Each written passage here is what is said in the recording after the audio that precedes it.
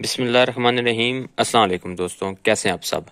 दोस्तों, आज की इस वीडियो में हम आपके साथ साइक्लो रिड्यूसर को डिस्कस करेंगे। साइक्लो रिड्यूसर कैसे काम करता है, इसका वर्किंग प्रिंसिपल और इसके तमाम पार्ट्स को डिटेल के साथ आपके साथ इस वीडियो में डिस्कस करेंगे और दिखाएँगे कि कैसे साइक्लो रिड्यूसर स्पीड को रिड्यूस करता है। What is the phenomena behind cyclo reducer जिस दोस्तों, ये साइक्लो रिड्यूसर की मेन इनपुट शाफ्ट है, जो मोटर के साथ की के थ्रू कनेक्टेड होती है। जैसे कि आप देख सकते हैं, इसमें भी की वे बना हुआ मोटर की शाफ्ट पे भी की वे बना हुआ है। ये दरमियान में इसका मेन यूनिट है रिड्यूसिंग है, और ये इसकी मेन आउटपुट साइक्लो रिड्यूसर को हम दो पार्ट्स में डिवाइड कर लेते हैं इनपुट पार्ट और दूसरा आउटपुट पार्ट अभी आपको स्क्रीन पर इसका इनपुट पार्ट नज़र आ रहा है। ये हमारे पास मेन शाफ्ट है, जहाँ पर मोटर की शाफ्ट की के थ्रू इसके साथ इंस्टॉल होती है और पावर आगे की तरफ़ ट्रांसमिट होती है। पावर ट्रांसमिट कैसे हो रही होती है, वो मैं आपको बताऊँगा। सबसे पहले इसके पार्ट्स के बारे में मैं आपको बता दूँ कि साइक्लो रिड्यूसर के मेन पार्ट्स में ये इसके नीडल रोलर्स आते हैं, ये साइक्लोडिकल डिस्क या गियर आते हैं, ये साइक्लोडिकल डिस्क है। ये दरमियान में इसका एक स्पेसर रिंग दिया हुआ होता है। और ये दूसरी साइक्लोडिकल डिस्क है हमारे पास। ये साइक्लोडिकल डिस्क जो सी होती हैं, इन दो बैरिंग्स के ऊपर रोटेट कर रही होती हैं। ये इसेंट्रिक टाइप रोलर बैरिंग्स हैं, जैसा कि आप देख सकते हैं।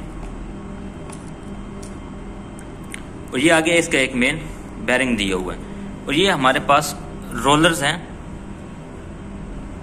नीडल रोलर भी इनको कह सकते हैं आप। अभी मैं आपको इसका वर्किंग प्रिंसिपल बताता हूँ। जब इनपुट शाफ्ट रोटेट करती है तो ये इंसेंट्रिक बैरिंग भी इसके रोटेट करते हैं। तो इंसेंट्रिक बैरिंग्स के साथ ये साइक्लो साइक्लोडिकल डिस्क रोटेट करती हैं इन रोलर्स के ऊपर। जैसे कि आप देख सकते हैं। ये साइक्लोडिकल डिस्क वन टाइम में सिर्फ़ वन प्लेस के ऊपर इन रोलर के साथ अटैच होती है। बाकी जगह से ये फ्री हो रही होती है। आउटपुट रोलर इन होल्स के अंदर होते हैं। जब ये शाफ्ट इस तरह से रोटेट करती हाई स्पीड के ऊपर तो वो रोलर भी आउटपुट रोलर्स भी रोटेट कर रहे होते हैं। ये इसका सिंपल वर्किंग प्रिंसिपल है। अभी ये यहाँ पर टच कर रहा है। कभी इस जगह पर टच करता है, इसलिए एक टाइम पर सिर्फ़ एक जगह पर ये टच कर रहा होता है। इसी तरह से ये स्पीड रिड्यूस करके आगे ट्रांसमिट करता है। ये टोटल असेंबली है साइक्लो रिड्यूसर की।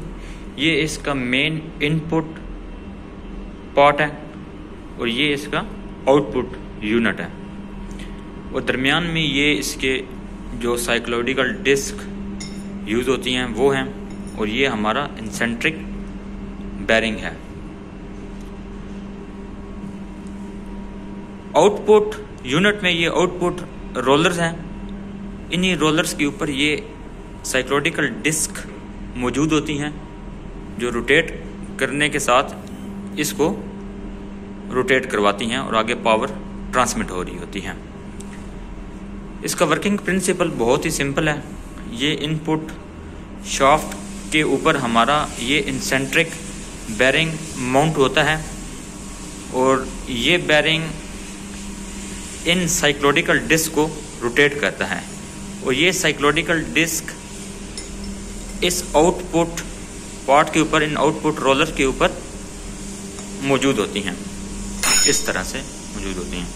ये दोनों डिस्क इन रोलर्स के ऊपर रोटेट करती हैं।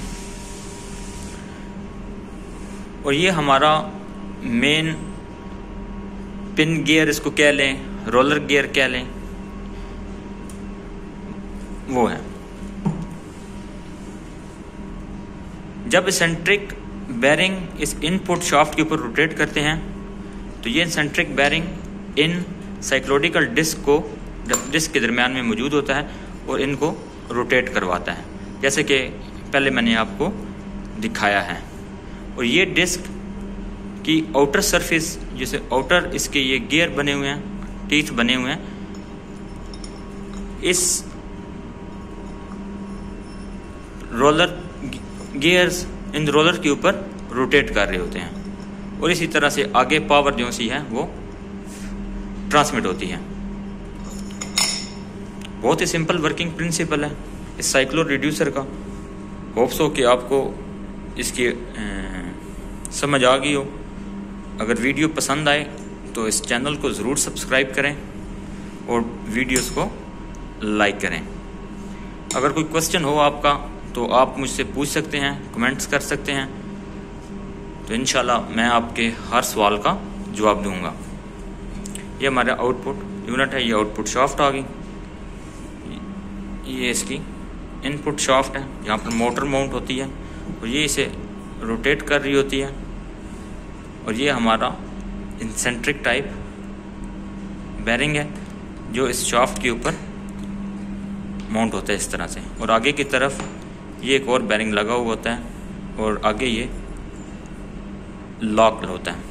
और इसी इंसेंट्रिक बैरिंग के ऊपर हमारी ये साइक्लोडिकल डिस्क मौजूद होती हैं, जो रोटेट करती हैं। इस तरह से।